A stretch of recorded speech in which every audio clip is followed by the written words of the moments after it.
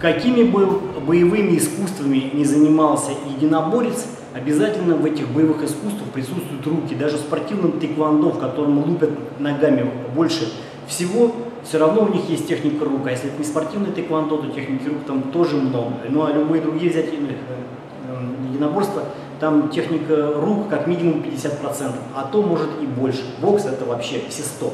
Так вот, учитывая тот факт, что мы работаем руками, мы, это я буду говорить с вами про бойцов, огромную роль у нас играет плечевой сустав. Я не буду говорить об ударных поверхностях, о локтях, сегодня поговорю именно о плечах. Почему? Потому что именно плечо обладает огромной циркумфлексией. Циркумфлексия – это вот это вот ротационное движение, благодаря которому мы можем донести ударную поверхность до мишени в любом направлении. Вверх, вниз, вправо, влево, сбоку, по круговым траекториям удара наносить. Все это обеспечивает нам наше плечо, потому что оно э, подвижно. Но у любого бойца есть определенный динамический стереотип, есть определенные траектории приемов, боковых, снизу, прямых, благодаря которым э, все-таки траектории э, усредняются и сводятся к каким-то к оптимальным, необходимым для данных э, техник. И поэтому сустав, несмотря на то, что это активная работа руками, задействуется не в полной мере, а работает только в каких-то в амплитудах, в определенных э, э, траекториях. Из-за этого динамический стереотип изменяется, и износ сустава, э, а также наоборот его гипертрофия в каких-то местах связок, их э, утолщение укорочение происходит в угоду этой самки техники это не есть гуд. До определенного возраста это все хорошо работает, есть компенсаторная гипертрофия, любые другие механизмы компенсации, все дело восстанавливается. Но и то, если человек работает профессионально и много, получается в одних амплитудах он работает много и в траекториях, в других работает намного меньше. Соответственно, сустав в одном направлении изнашивается больше, в другом не работает, что еще хуже. И там происходит э, атрофия связок, капсулы, а сустав э, плечевой такой, что в нем в принципе капсулы практически нет. Это такой сустав, который самый подвижный в нашем теле, он обеспечивает самые большие движения, самую большую ротацию, самую большую амплитуду движения конечности. Заветный сустав тоже шаровидный, но там амплитуды меньше, и ловкость его намного ниже. То есть этот сустав нам позволяет и вращать плечо в любых траекториях амплитудах, да, и поднимать, и отводить, и назад уводить, сгибать, разгибать. Э, любые вращения изнутри наружу, чего только нет, абсолютно. То есть сустав такой очень ну, подвижный, но это благодаря тому, что у него практически отсутствует суставная капсула. Там три косточки держат головку сустава, а между этими косточками натянуты э, мышцы в виде мембраны. Вот. И эти мышцы называются ротаторные манжеты или вращательные манжеты. То есть э, фактически мышцы закрывают эти смотри, промежутки и, собственно говоря, держат там смотри, головку сустава. И вот когда мы наносим удары, э, то головка э, э, с плечевой кости стремится выйти между этими косточками, в зависимости от основной траектории э, движения. И держит ее там только вот эти мембраны, мышцы да, натянутые, а также это посредованно мышцы надплечья, которые сверху еще поддавливают. О том, как прорабатывать ротаторную манжету э, перед силовой тренировкой, я видео уже записывал, но я, тем не менее, все равно сегодня покажу. Вот в данном видео я хочу показать, э, как нужно закачивать обязательно бойцу плечо и надплечье, для того, э, чтобы обеспечить его максимальную защиту. Э, в чем особенность?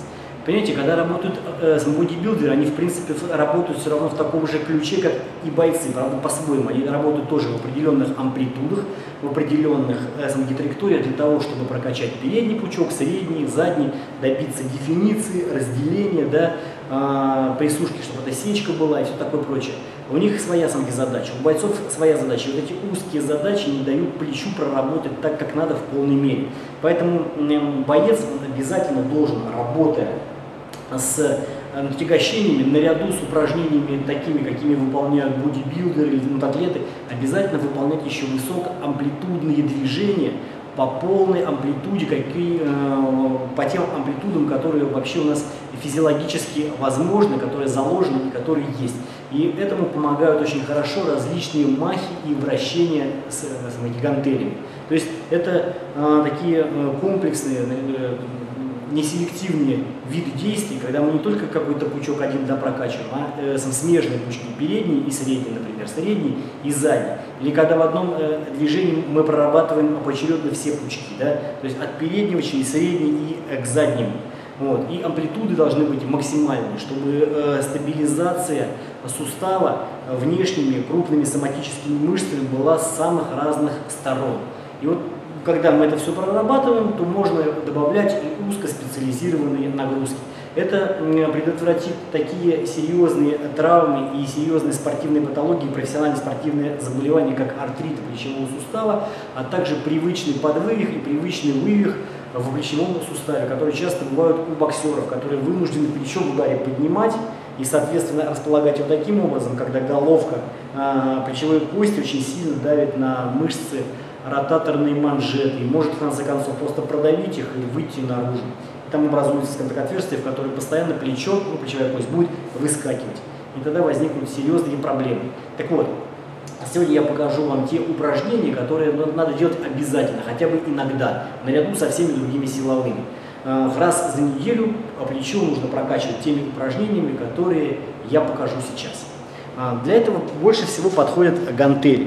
И когда есть вот такой гантельный ряд, да, простейший, то можно сказать э, сразу, что боец любой может отлично прорабатывать э, весь плечевой самый пояс, а, и прежде всего мышцы плеча и надплечья.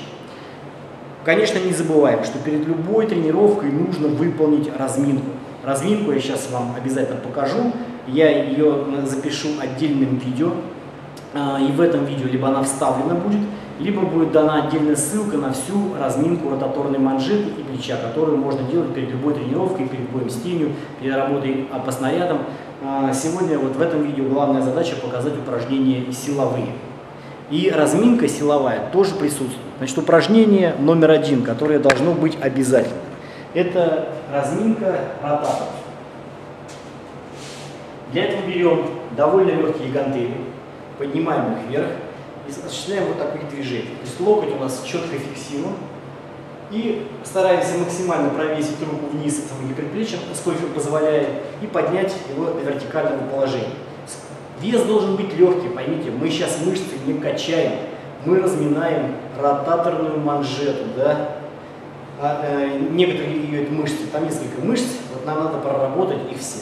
Для этого нам нужно проротировать головку э, с плечевой кости в суставе по разным направлениям. 20 раз достаточно. Теперь ставим локти, фиксируем и разводим. Некоторые, кто не знает, что это такое, думают, что за фигню человек делает. Вроде и не бицепсы качает, ничего.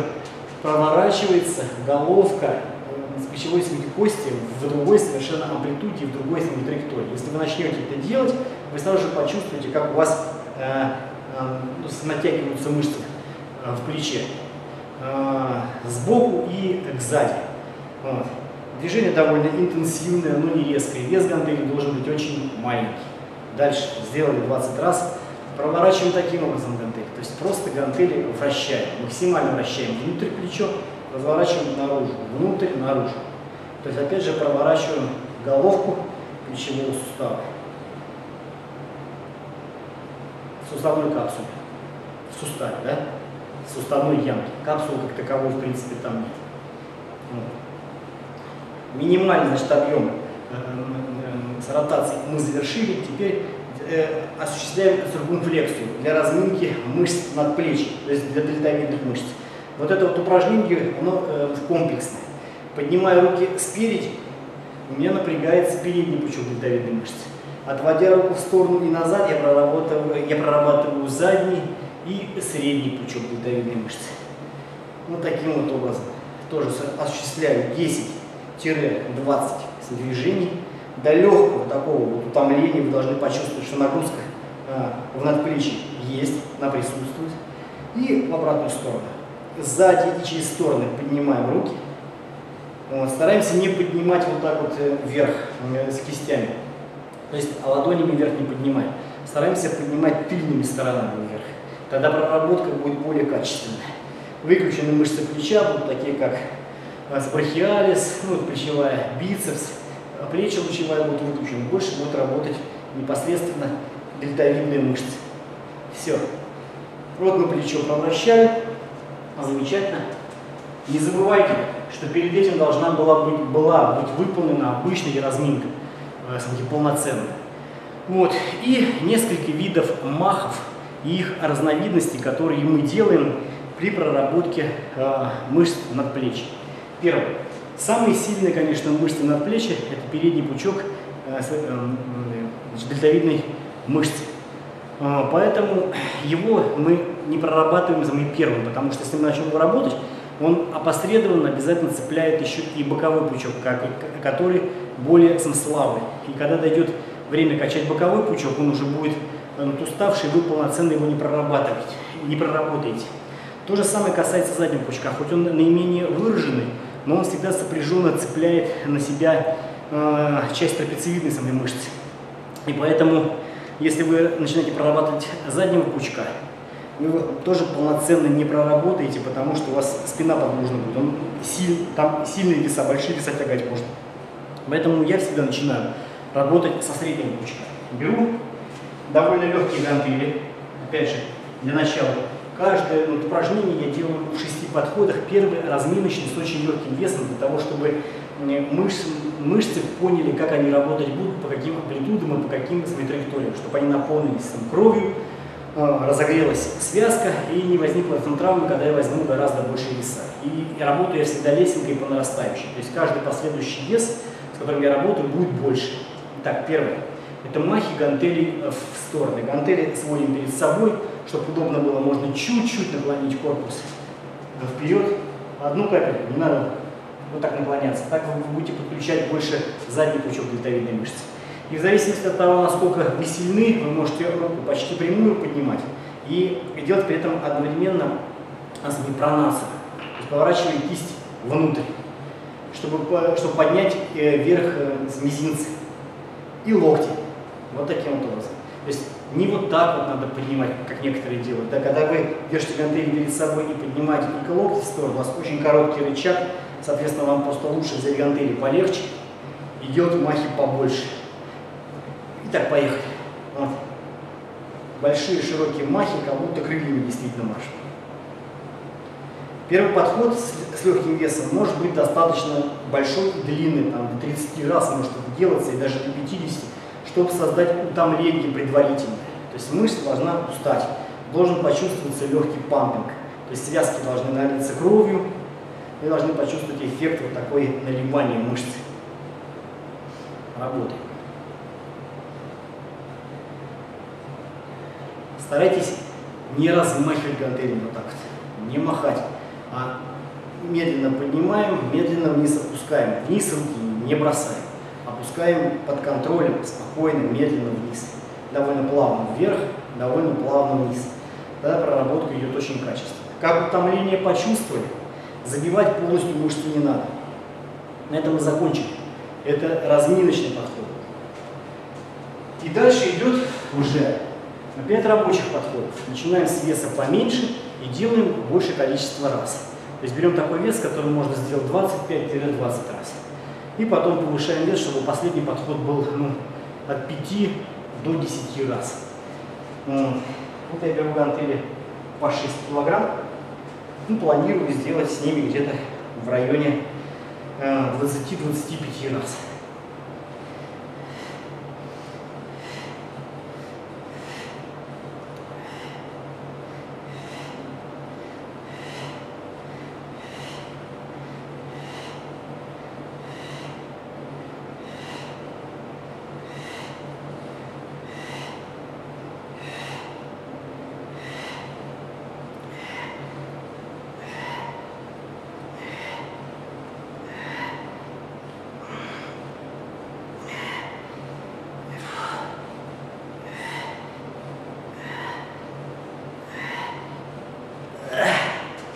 Очень хорошо.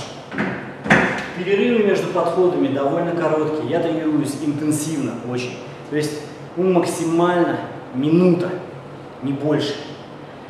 Вот. Всего будет упражнений несколько, их бывает от трех.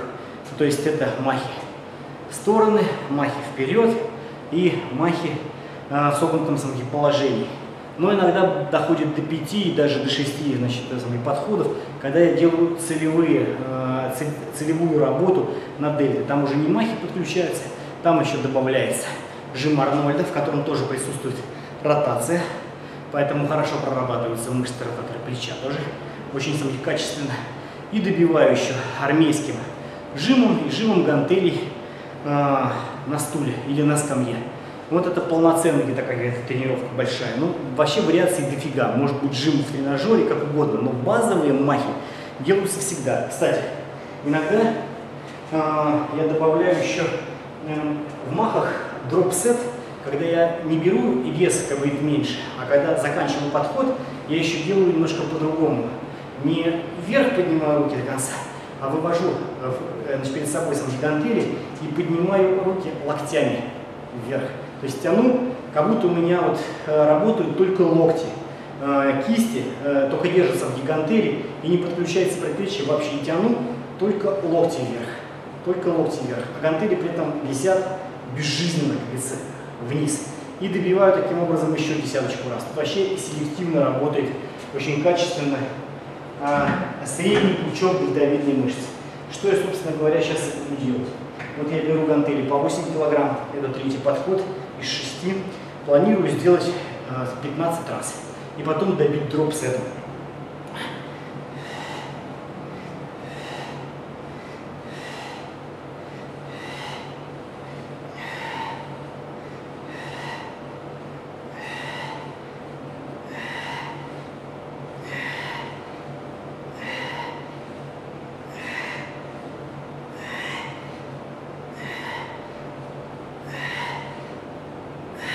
и дропсет пошел.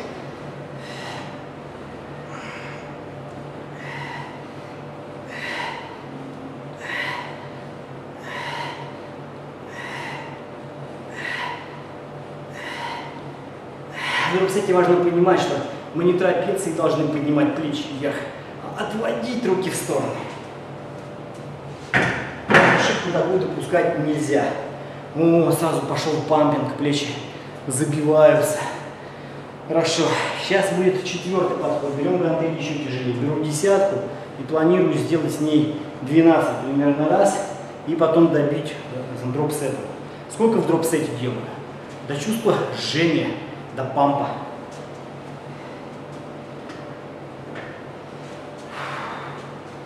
Четвертый из шести.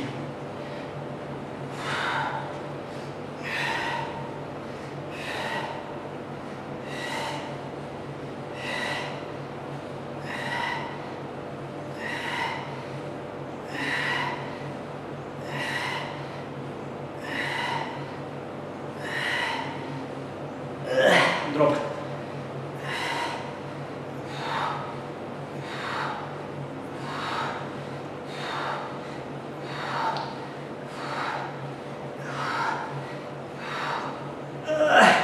Вот с этими гантелями я и продолжу.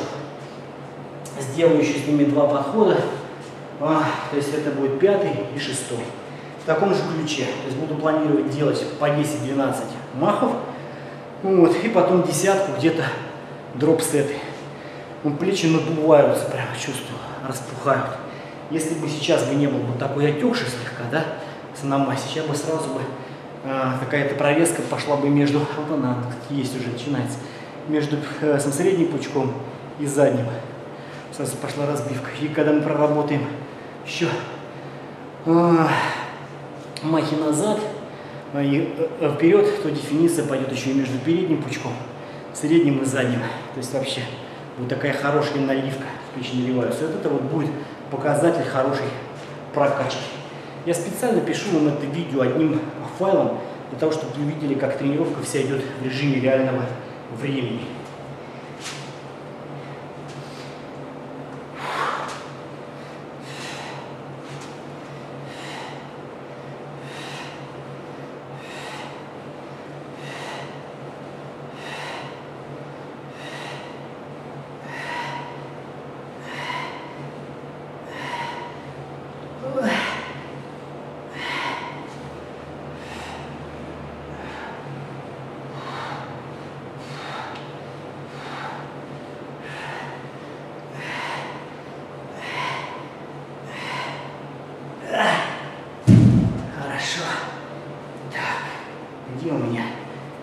Пойду бы Сашечки глотну.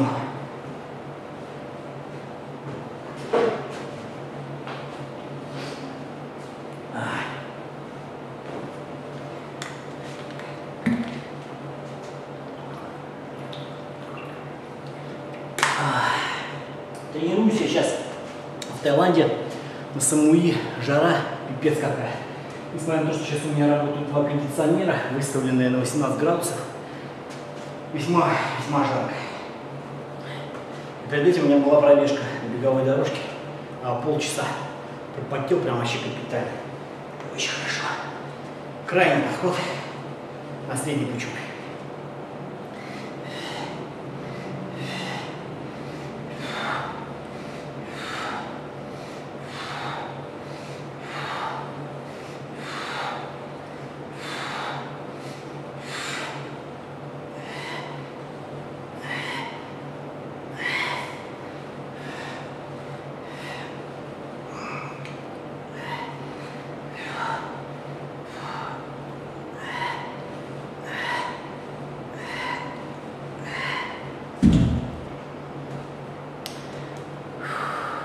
Ну вот, одно упражнение я закончил, в точно таком же ключе выполняются упражнения на передний пучок дельты и на задний пучок. Дальше махи на передний пучок. Два варианта. Первый. Можно делать одновременно двумя руками, можно по очереди. Не переворачивайте руку ладонью вверх, иначе очень сильно подключаться будут бицепсы, плечелучевая мышца, плечевая, клювовидная и так далее. То есть вот таким образом надо работать. Кисть Руку можно чуть согнуть для того, чтобы не подключать ненужные для работы мышцы. Вот. А, к сожалению, здесь только это гантели, потому и э, идеальный вариант, когда мы берем тяжелый диск от штанги, поднимаем его, а, до высоты больше 90 градусов. Это так, чтобы между 90 и 180 было 45 это. И еще делаем поворот, как будто вращаем руль. То есть поднимаем, делаем поворот. Сейчас покажу, как это делается на такой штуке. Вот, это крышка. Ага, от бака, вот, как диск. Поднимаем, делаем вращательное движение. Поднимаем, делаем вращательное движение. Когда у нас подключается еще дополнительно, опять же, ротатор, и стабилизируется, кроме надплечья мышцы, еще ротаторы. Но если у нас этого нет, то работаем просто гантелями махи. В первый подход, опять же, берем довольно легкие гантели и делаем. Можно двумя руками сразу, потому что гантели легкие. Вот. Главное не разматывать корпус на вот так. Вот так вот. Никаких махов. То есть застабилизировали тело и стараемся тело не раскачивать вообще.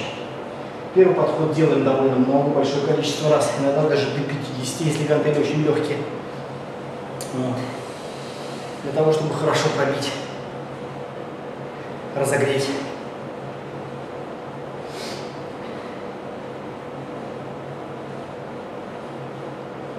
Вниз не бросаем, медленно ведем. То есть с одной скоростью все работается.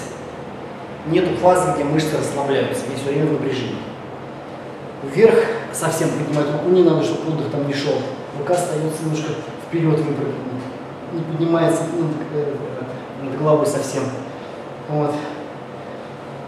Иногда достаточно поднять чуть выше, чем до 90 градусов. То есть чуть выше, чем параллельно полу. И этого будет нормально. И этого будет достаточно, вот так надо правильно говорить. Вот. Проработали. Обязательно не игнорируйте вот этот вот Э, легкий подготовительный подход. Он очень важен, чрезвычайно, потому что он э, гарантирует от вас от того, чтобы заработать травмус. И пошли рабочие подходы. Вот. Взял гантельки потяжелее, чуть-чуть, и поочередно.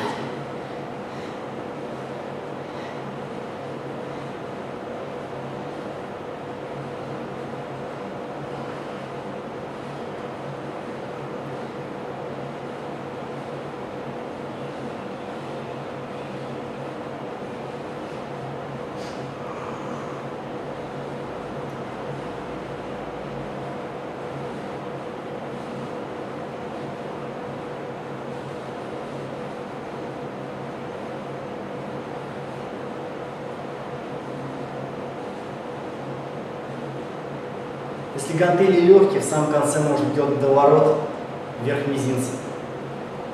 То есть подняли и осуществили мизинцем доворот, чтобы подключить дополнительно ротаторы. Чтобы когда вы будете бить, вворачивать кулак, чтобы он вас этот э, э, э, ротатор стабилизировал ваше плечо. Берем гантель еще тяжелее. Здесь я, как правило, делаю между подходами очень маленький разрыв, почему руки очередно работают, поэтому и перерыв можно меньше делать, отдых идет больше. Если я двумя, двумя руками одновременно могу делать, перерыв был чуть дольше. То же самое можно делать абсолютно и на кроссовере, на блоке, вытягивать руку вперед. Сзади трос, берете ручку и снизу вытягаете вверх. При этом лучше наклониться чуть-чуть. Почему? У вас рука будет еще более качественно смотрите, прорабатываться, вы будете тянуть ее сзади уже. И вот амплитуда какая работает. Вот здесь вы поднимаете, вот у вас амплитуда рабочая, не работает мышца. Там она будет работать из заднего положения, сюда вперед, еще более качественно. Поэтому на тросовых тренажерах делать вот эти вот отводящиеся движения можно еще более качественно. Я показываю только основу. На самом деле этих упражнений может быть масса. Различного рода махи могут быть как на тросовых тренажерах, э, так и со свободными весами в разных совершенно вариациях. Одной рукой, когда вы, зафиксируетесь одной рукой, и одну руку делаете махом, да. Это сколько угодно много может быть э, самых разных упражнений. Просто важно понимать, что махи э, с почти прямой рукой для файтера более качественный способ, более полезный для проработки мышц надплечья.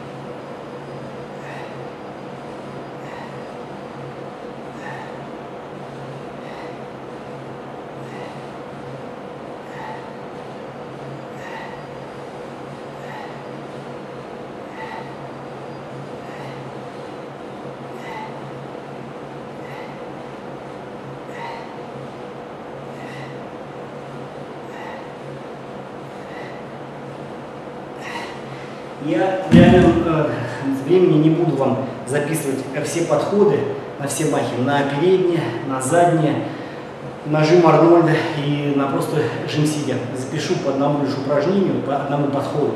Суть там, в принципе, та же самая. То есть 6 подходов делается. Первый э, такой обрабатывающийся с очень легким весом, а потом нагрузка э, повышается э, за 2-3 подхода. Может и до последнего вы все больше веса будете брать. Я вот дохожу к четвертому подходу до максимального веса, с которым я буду работать, и три подхода рабочих делаю с одним и тем же весом. Вот. Иногда добиваю дроп-сетами. Вот в таком э, ключе. То есть э, весь метод обозначил я на махах в сторону. Такие же подходы и ко всем остальным упражнениям. А какие это упражнения, я вам сейчас обязательно покажу. И покажу обязательно еще способ самый простейший растяжки. Покажу его прямо сейчас. Почему? Потому что его можно делать прямо между подходами. Иногда бывает такое ощущение, жжение мышца забилась просто до безобразия. Ее нужно потянуть. Берете просто руку, составите на что-то, либо берете за блок, либо за перекладину, либо за брусья, либо за что еще. Вот. И вворачиваете плечо. Вворачиваете плечо. Вот таким образом. И повисаете, растягиваете дельтовидную мышцу. Иногда можно не браться за предмет, а положить просто тыльную сторону кисти. И присесть, чтобы потянуть дельтовидную мышцу. Если это э, не кроссовер, вы можете взять запятый кроссовер и потянуть вот таким вот образом. Потянуть таким образом и, и вот таким. Либо точно так же захватиться за столб с какой-то и потянуть, таким вот захватиться. И потянуть, положить руку на перекладину, потянуть. То есть вворачиваете плечо и чуть садитесь ниже, чтобы у вас рука вытянулась назад и вверх. И у вас мышцы хорошо потянутся. И чтобы задний плечо потянуть, когда работать, поднимайте руку Кому-то захватываете себя за плечо и тянете между ухом и плечом с предплечьем вот, по верху. Значит, по медиане между как, головой и плечом. Вот таким вот образом. Сюда и сюда. Это потянется задняя дельта. Соответственно, махи назад. Садимся на край э, со скамьи, гантели под ногами, захват внутрь под ногами ходить. Делает наклон, можно прямо лечь на бедра, это нормально. И начинаем прямыми руками делать махи назад.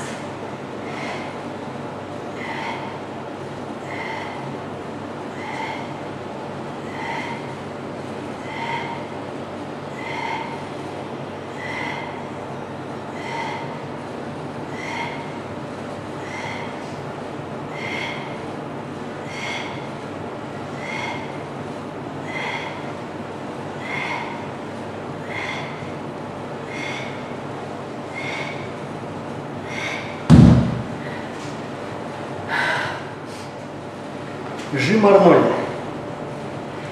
Садимся на скамью, руки перед собой, локти максимально близко, гантели соединяем.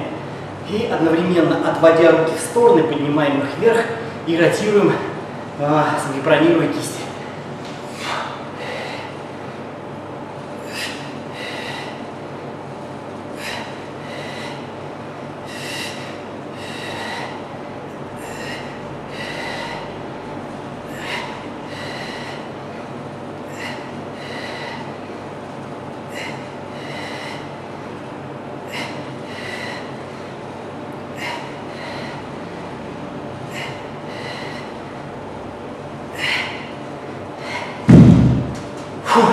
Ну вот так. Все. И последним упражнением еще можно добавить просто жим гантелей. Вообще хочу заметить, что ганты, что лучше всего для файтера работать именно с гантелями свободные веса, а не со штангой. Штанга нафиксирует между собой веса справа и слева и заставляет работать в определенных амплитудах и траекториях. Она завязывает руки между собой, связывает. Здесь же руки работают отдельно друг от друга, поэтому они полноценно качественно прорабатываются отдельно работают, э, прорабатываются стабилизаторы мелкие, поэтому работа получается очень качественная. Ну вот, такая у нас с вами получилась замечательная тренировка. Вот, плечики налились, прям чувствуются, такие прям наполненные. Вот, и вот такую тренировку, э, как целевую, можно делать с, с большими весами, либо в режиме э, цикл тренировок по full body только тогда будет не по 6 подходов, а предположим по 3, а, то есть 3, делайте там 3 круга больших, состоящих из 7-8 упражнений, а, по типу кроссфита работаете. И в них обязательно включены упражнения на плечи. Но я тогда, когда работаю в full body, я, как правило, работаю плечи на петлях TRX. Но об этом у нас будет с вами абсолютно отдельная тренировка. Салют. Работаем.